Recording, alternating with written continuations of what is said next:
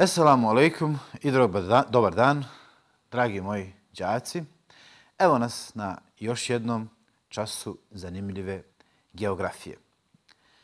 Današnja nastavna jedinica je privreda Evrope i geografske regije Evrope. Otvorit ćete vaše atlase, sveske i zapišite nastavnu jedinicu.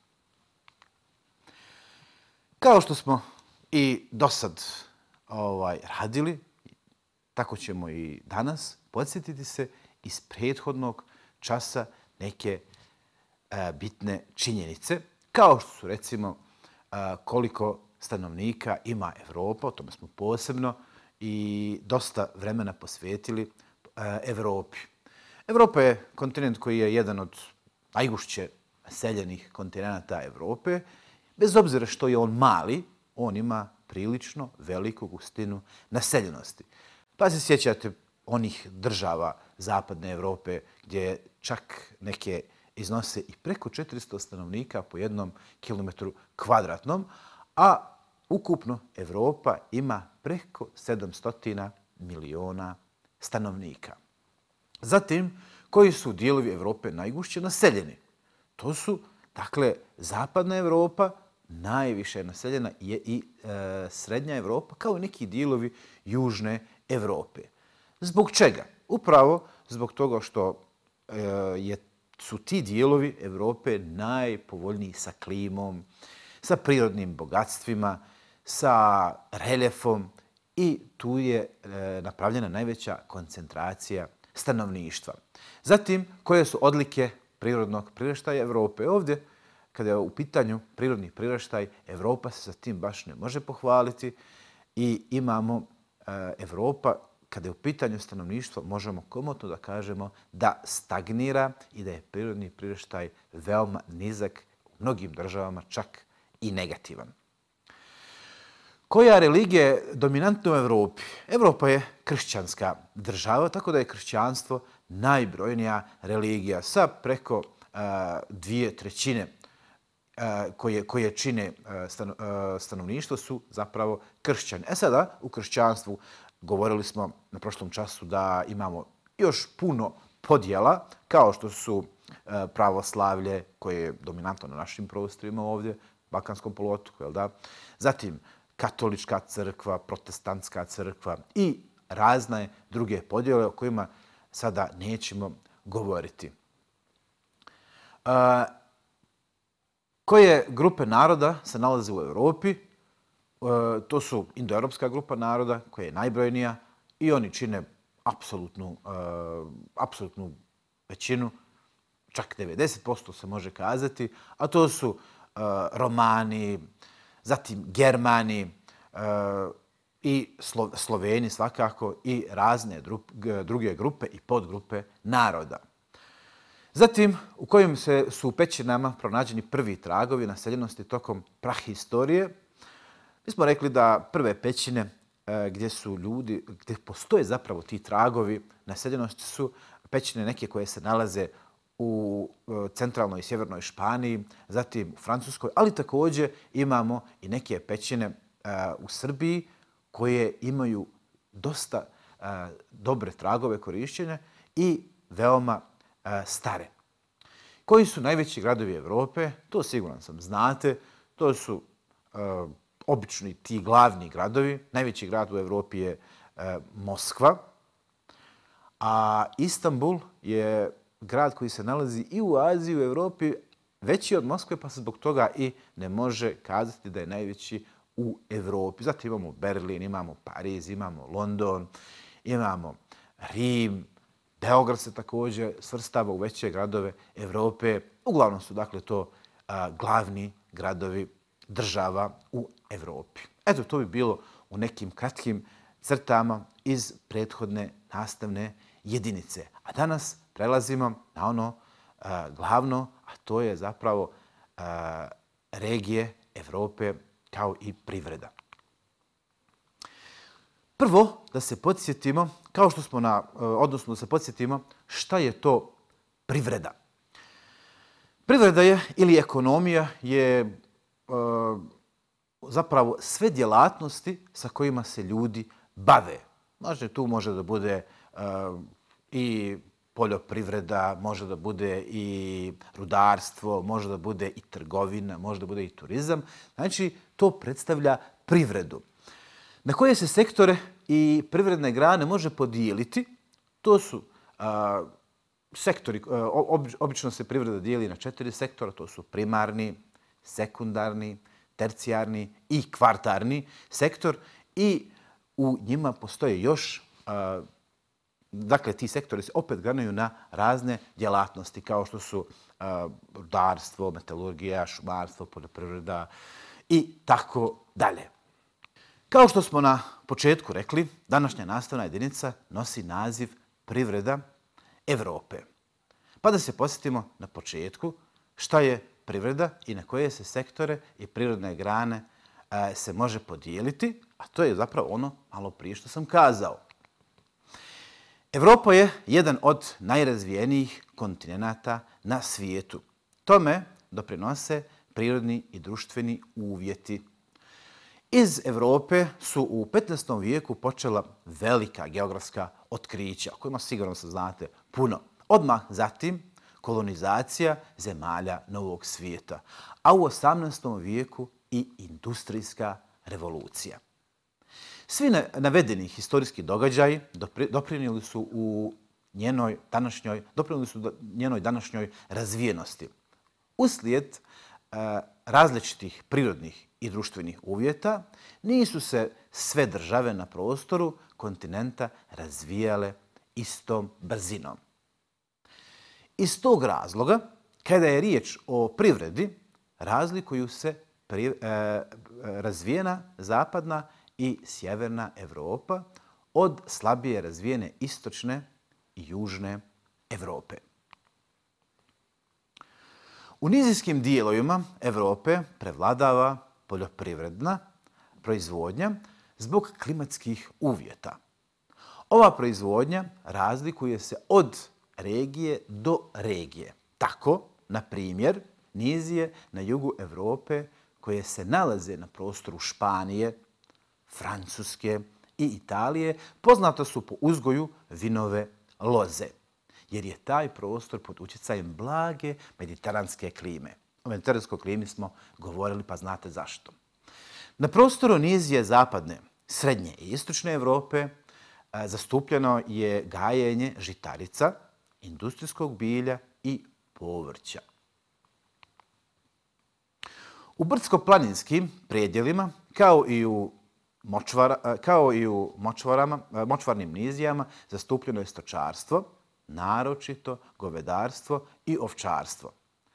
Planinski dijelovi e, Evrope izuzetno su bogati šumama, pa se iz tog razloga na prostoru srednje i sjeverne Evrope razvilo šumarstvo, na osnovu čega se dalje temelji, e, temelji razvoj drvne industrije. Ribolov je najrazvijeniji na obalama sjevernog, norveškog i sredozemnog mora. Zemlje koje se posebno ističu po razvijenosti ove privredne grane su Norveška i Island. Jedna od osnovnih odlika privrede, e, privredne razvijenosti kontinenta jeste mladi udio stanovništva koji je zaposlen u primarnom sektoru. S razvojem industrije došlo je do procesa deagra, de, deagra, deagrizacije, tako da su se sela smanjivala i gubila svoju funkciju. S druge strane, gradovi su se širili, a kao posljedica procesa urbanizacije dolazilo je do, do, dolazilo je do smanjenja udjela poljoprivrednog zemljišta.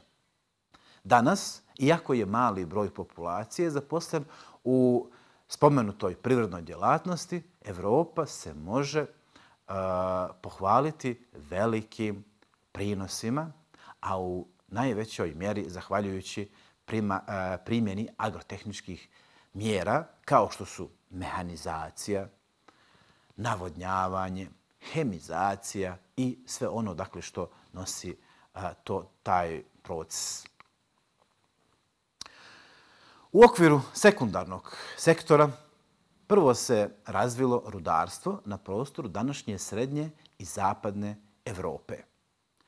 Tokom 18. vijeka na britanskom otoku dolazi do značajnih promjena koje su uvjetovale, koje su uvjetovane a, pronalaskom parne mašine u 18. vijeku 1769. godine. S njenim pronalaskom i primjenom u rudarstvu, industriji i saobraćaju započinje industrijska revolucija. To je dalje uvjetovalo razvoj teške industrije koja se bazira na, privredi, na preradi ruda. Najznačajniji rudni resurs bio je ugalj, ali zbog masovne eksploatacije danas je, danas je uglja sve manje. Tako da su se veće zalihe očuvale na prostoru današnjeg Ujedinjenog kraljevstva, Velike Britanije i e, Sjeverne Irske, zatim Njemačke, Poljske i Ukrajine. Od 60. godina 20. vijeka glavni izvor energije postaje nafta, koja, naj, koja najviše ima na prostoru Sjevernog mora, dakle negdje kod Norveške.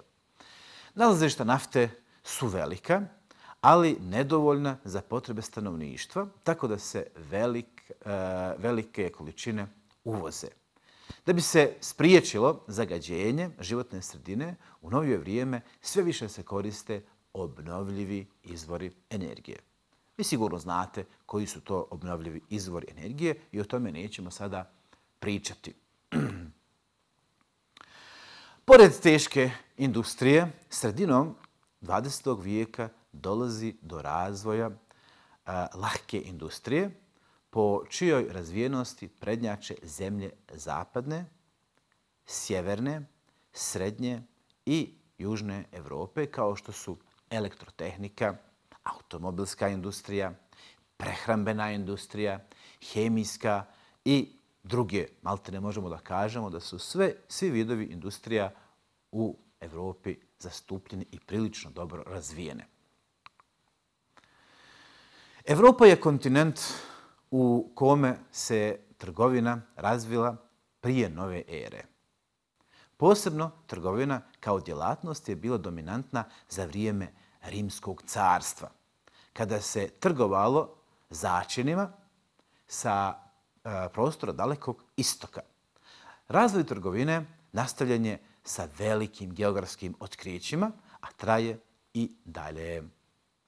Već smo napomenuli da je Evropa jedan od najrazvijenijih kontinenta, a to je omogućila trgovina kao privredna djelatnost. Trgovina je uvjetovala dalji razvoj saobraćaja, uslužnog zanatstva i turizma. Povoljni financijski uvjeti i višak vremena doprinuli su razvoju turizma kao jedne od značajnih djelatnosti. Po turizmu se posebno izdvajaju države južne, zapadne i sjeverne Evrope. Imate sada jedan zadatak. Na fotografijama su prikazane neke od turističkih atrakcija Evrope. Pored naziva, to ćete u vašim dakle, sveskama, pored naziva a, napišite ime grada u, koje, u kojima se nalaze prikazani objekti. Evo, mislim da ćete ovaj, a, ovaj zadatak sa lahkoćom uraditi. Prelazimo sada na drugi dio časa. Reći ćemo nešto i o geografskim regijama Evrope. Prvo, Evropa se odlikuje Eh, prisustvom različitih oblika reljefa, tipova klime, zemljišta, kao i raznovrsnog biljnog i životinskog svijeta. Sve navedene eh, odlike utjecali su na razmještaj stanovništva, formiranje naselja, kao i njihov privredni razvoj.